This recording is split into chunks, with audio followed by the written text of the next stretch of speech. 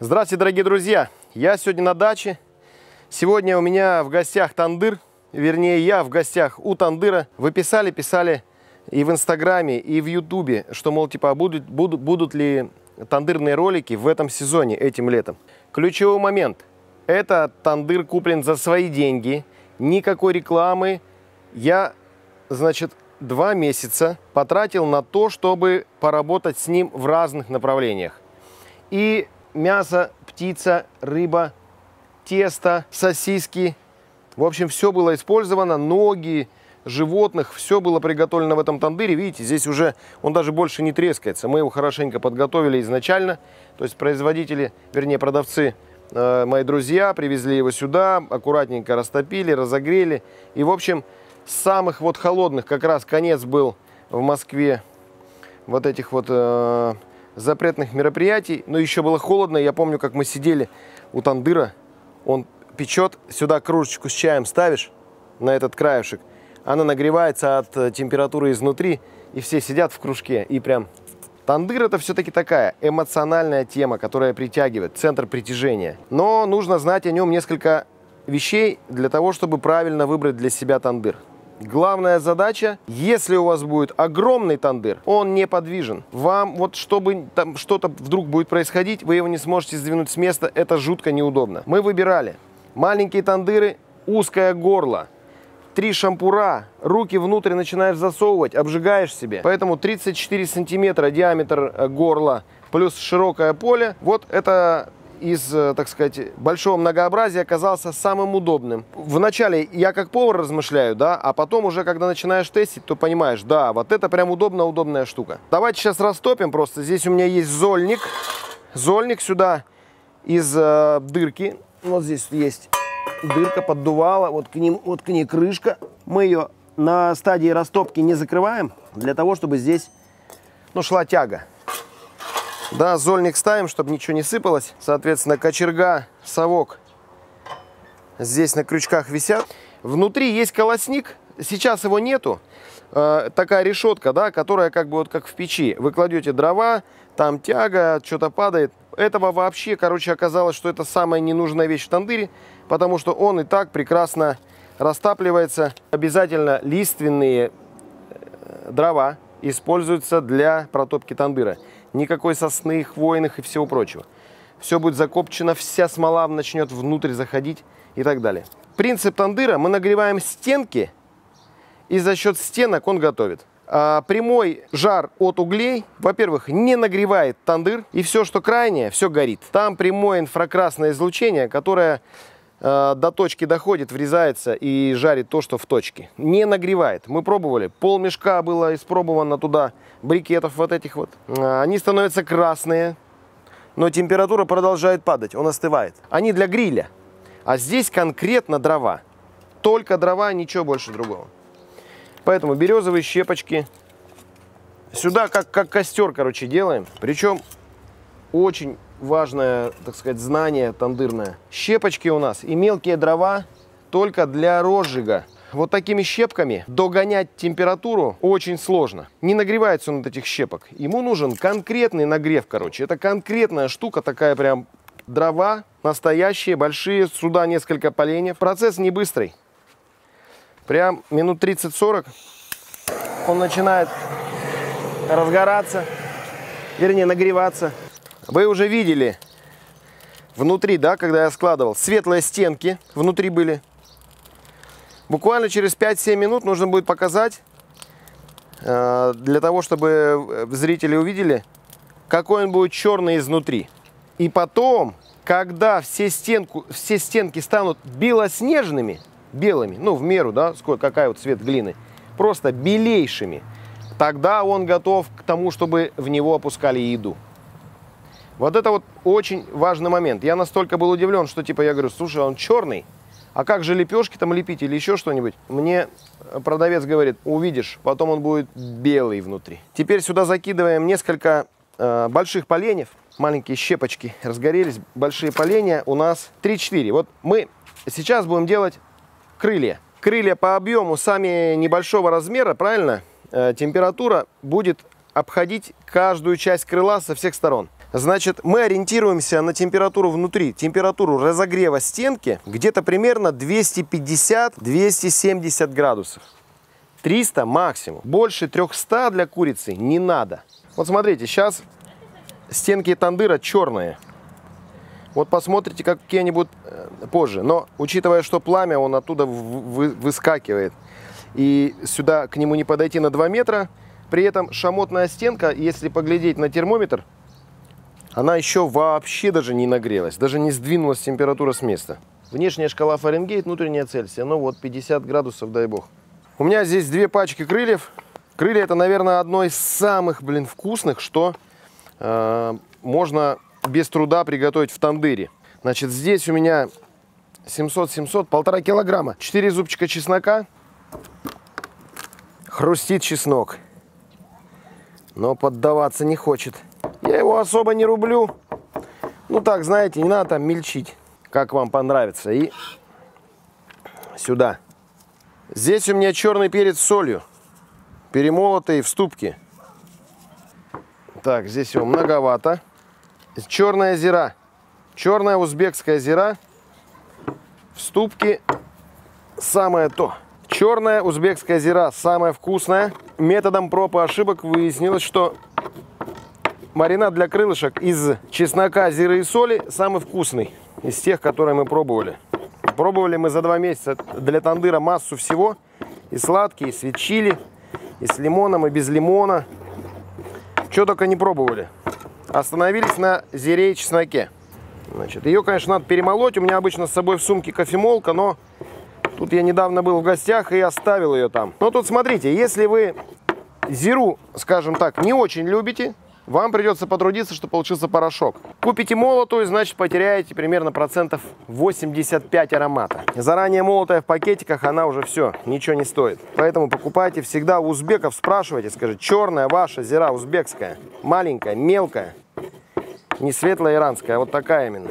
Она вкуснее, к ней быстрее привыкаешь, начинаешь быстрее ее понимать. В чистом виде зиру не рекомендую, она очень яркая, поэтому чеснок ее сильно-сильно гасит и получается прям я особо не жалею зиры, но ее, в принципе, здесь не так много, как кажется. Все, соль, чеснок, зира перемешали. Я не смазываю крылья маслом перед жаркой, не в маринаде, потому что они достаточно жирные, в смысле кожа достаточно жирная для того, чтобы при жарке выделять этот жир. А вот свинина, говядина, телятина, баранина, она, конечно, требует вкрапления масляного в процессе маринада. Все, замариновали, это грубо сказано, Посыпали, приправили. Огонь. Температура у нас уже 250, даже чуть больше. Так, нагрелись стенки. Осталось небольшое количество, буквально одна полежка. И собрался уголь. Тут жар, конечно, сумасшедший. Когда остается совсем одно полежка и там, скажем, остатки огня живого, то можно в этот момент э, накрыть крышкой для того, чтобы уже прогревалась крышка, пока догорает полежка. Вот посмотрите, после 200 градусов стенка становится белой. Там есть, конечно, небольшая пыль еще внизу, но это уже не считается. Вы же видели, какая она была, когда мы только начали разжигать. Была полностью черная. Все, крышка. Вот зараза тяжелая. Крышку накрываем. Нам тоже крышку нужно прогреть, но без верхнего колпачка. Тут жарко очень. Есть еще верхний колпачок, который прикрывает вот эту всю конструкцию. Крышку нельзя ставить на тандыр в тот момент, когда идет активное пламя. Во-первых, крышка мешает пламени выходить. Во-вторых, если ее перегреть, есть вероятность того, что она треснет. Поэтому к крышке нужно относиться аккуратно, когда уже, так сказать, остаточный огонь догорает, последние, так сказать, остатки поленьев, вот тогда и вовремя, тогда и время ее ставить. Тандыр, кстати, небольшой, не маленький, как раз вот середнячок выдает самую нормальную нагрузку, он удобен, Потому что я вас уверяю, когда у вас будет стоять огромный тандыр, это такая прожорливая штука, вот вы просто даже себе не представляете. До 250, да, у меня уже 270 градусов. Я сюда, чтобы вы понимали, вот березовых чурочек, да, поленьев, сюда отправил раз, два, три, четыре, пять, шесть, семь, восемь, девять. То есть почти там э, вот целую вязанку я отправил сюда ему, так сказать, на съедение для того, чтобы нагреть его до 300, до 300 градусов. Представляете, если тандыр будет в два раза больше, то есть в два раза больше дров его в него приходится э, значит, накидывать для того, чтобы... Нам, кстати, вот пришла такая штука, она была вместе с тандыром. Я не знаю, производители очень, очень мощно, так сказать, подходят идеологически к созданию аксессуаров. Это вещица для того, чтобы крышку сюда ставить. Но и она же дровяник. То есть по всей логике, если ты сюда накидал дров, и пошел дождь, ничем не закрыто, дрова намокают. Значит, если он будет стоять под крышей, тут жар такой, что если высокая крыша, еще более-менее. А если низкая крыша, вон где ветки висят, мы по осени там посожгли все на свете. То есть получается, что она для крышки, но дрова здесь как бы неудобно хранить. Если будут дрова, ее не поднять. Если вы хотите вправо-влево сдвинуть тандыр, вот эту штуку за ним таскать неудобно. А так как крышка тяжелая, крышку неудобно таскать через весь двор туда. Странный аксессуар, недоработанный. Почему он так сделан, я вообще не знаю. И самая главная беда в этом во всем такова, что на тандыре всего лишь два крючка. Для кочерги и для совка. Вот если бы производитель сделал еще 4 крючочка, тогда сюда можно бы было притулить например, решетку, вернее, крестовину, на которую мы вешаем э, шампуры для шашлыка, еще что-нибудь. А так получается, что тандыр, на него ничего не повесишь, вот это все хранить, вот оно валяется. Одна палка здесь, на мангале. Там шампуры где-то вообще валяются. Вот это, значит, крючок для снятия лепешек, который очень удобно использовать как кочергу, потому что вот эта кочерга настолько короткая, что как только ты в горящую, в горящий тандыр опускаешь руку, у тебя горит все. И для этого нужно, короче, перчатку надевать. Перчатку нужно где-то искать, потому что здесь не приспособлено ничего для перчаток. Это прям нужно какую-то отдельную штуку придумать для аксессуаров, и потом думаешь, ё-моё, я купил тандыр, вроде стоит недорого, блин, а аксессуары девать некуда. А вот здесь, если сделать ряд крючочков, вот сюда было бы круто. Я изредка, когда не ленюсь, вот можно тут изловчиться и повесить крестовину вот на этот крючок. Слава богу, он есть. Потому что если бы его не было, то эта штука вообще не нужна. Потому что я эту крышку могу поставить и на стол, на деревянный. На пластиковый не поставишь, потому что она прогревается. На деревянный поставишь. То есть только для крышки иметь вот эту штуку, ну, а вот если бы здесь всякие были штучки-дрючки, полочку, нафиг здесь дрова хранить? Полочку сделал, решетки сюда какие-нибудь положил, шампуры положил, если здесь запаять всю эту конструкцию, то тогда э, дождь прямой не будет попадать ни, ни, ни, на, ни, ни на решетки, которые здесь лежат, ни на шампуры. Ну, то есть надо как бы к этому подходить всегда. Вот я размышляю как. Вот если ты делаешь тандыр, что дома у тебя тандыра нету, ё-моё, ты бы уже 10 раз там его там, тандыры годами делают заводы, годами, и они не могут придумать как бы такие какие-то вещи элементарные, крючки, для того, чтобы это все было удобно хранить. Понятно, что, может быть, вы на аксессуарах делаете доп. Э, цену, и так и происходит. Там все аксессуары для него стоят примерно 25% от стоимости там, тандыра. Конечно, это выгодная вещица. Что у нас тут происходит? У нас 270 градусов. Там догорает, скажем, последние кусочки. Значит, давайте быстренько насадим вот на такую елку. Это, кстати, тоже аксессуар, который идет отдельно от тандыра. У меня две елки. Одна большая, с длинными такими зубцами, с большой э, сковородой. Это маленькая елка, когда у вас там пару пачек всего. На большую елку входит 3 килограмма крыльев. Вот у меня сейчас полтора килограмма, вот как раз на маленькую они великолепно сядут. Перчаточку, да, чтобы не бегать туда-сюда, крана здесь под рукой прям нету. Я всегда рекомендую перчатки надевать для того, чтобы потом не мыть руки. Выкинул перчатку и все. Крылья не холодные, они лежат у нас на солнце сколько тут, 15-20 минут, пока мы мариновали, пока туда-сюда, они у нас нагрелись, это значит, что они будут довольно быстро жариться. Вообще, вот полтора килограмма крыльев в тандыре при температуре на термометре э, значит, 270-300 градусов готовится где-то 15 минут максимум. Максимум. Но нужно поглядывать для того, чтобы у вас тут ничего не подгорало. Значит, я всегда делаю так. Сначала начинаю с верхней части. Насаживаю так, чтобы дырка была вот здесь, между плечевой фалангой и двумя косточками. Да? Так будет удобнее. И нужно стараться делать так, чтобы одно крыло не перекрывало другое. Все, и на елку натягиваем игрушечки такие. Раз, симпатичные. Так, это неудобно. Это должно быть вот так. Нужно стараться насаживать крылья так, чтобы воздух горячий проходил везде между ними, чтобы они не слепались. Будет слепленные, Вот так вот, видите? Пару сантиметров оставляем. Штука занятная. Можно, конечно, и пальцы себе попротыкать, но при должном, так сказать, уходе, вернее, при должном подходе, все будет нормально. Заодно посмотрите потом, как это будет великолепно выглядеть. А зимой это можно даже представить своим гостям, как новогоднюю елку. Ребята, новогодняя елка, разбираем игрушки, подходим, наливаем чай, квас, пиво, горенькую, кто что любит. Так, куда нам еще? Ну, давайте.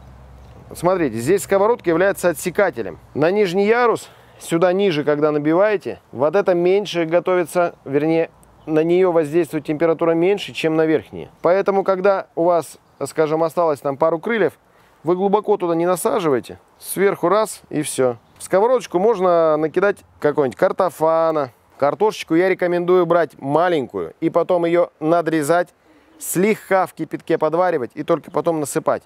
Потому что 15 минут крылья готовится, картошка никогда не, не успевает приготовиться за 15 минут. Мы пробовали разные способы, поэтому ее нужно всегда подваривать. Ну и все, у меня здесь есть несколько шампиньончиков. Я их сюда вот знаете, как гарнирную составляющую наколю. Пусть поджарятся. Они, конечно, под такой нагрузкой будут офигевать, но ничего страшного. О, вот так вот. Все, елка должна на елку быть похожа, правильно? Вот здесь у меня еще одного не хватает. Опа!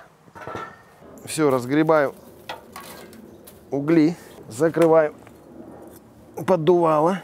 Сильно туда его не втыкаю.